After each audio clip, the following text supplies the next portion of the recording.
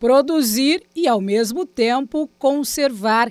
Este é o foco do projeto de lei ambiental do Pantanal. No projeto consegue-se contemplar ao mesmo tempo a preservação da atividade econômica no Pantanal, obviamente de forma sustentável e garante principalmente aqueles que protegem, que preservem né, é, é, as áreas de preservação e que ampliem suas propriedades até o direito de receber por isso através do Fundo Pantanal. A construção do texto contou com a participação de diferentes entidades ligadas direta e indiretamente com o Pantanal. Representante do governo, dos produtores rurais, das ONGs, é, da Embrapa, né, do Ministério né, da, é, do Meio Ambiente. Portanto, eu vejo assim que está muito bem é, orientado e essa audiência pública vem para coroar é, esse projeto que eu não tenho dúvida que vem ao encontro da realidade não só nossa do Mato Grosso do Sul, mas do Brasil. Mato Grosso do Sul abriga 9,7 milhões de hectares,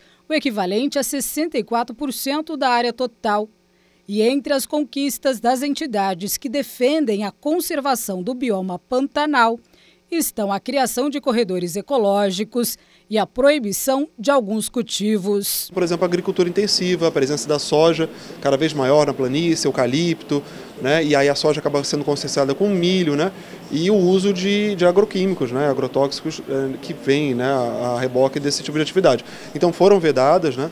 Essas atividades que não combinam com o Pantanal, com essa fisionomia. Né? Corredores ecológicos, eles tendem a é, preservar é, uma, uma porção daquilo que é representativo das fitofisionomias do bioma. Né? Então eles permitem com que a a fauna circule, com que a flora seja preservada, com que haja ali o trânsito de genes. No mesmo dia em que o projeto do Pantanal foi entregue aos deputados, aconteceu uma reunião técnica com os parlamentares para esclarecer os itens presentes no projeto de lei.